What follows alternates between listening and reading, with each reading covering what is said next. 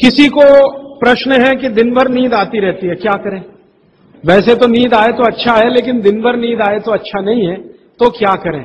इसका मतलब यह है कि आपके शरीर में एक क्षार बहुत कम है, और ये वही क्षार है जो आपको सबसे ज़्यादा मिलता है चूने से। जिनको दिन भर नींद आती है, वो चूना खाएँ। मट्ठे में मिला के, छाछ में मिला के।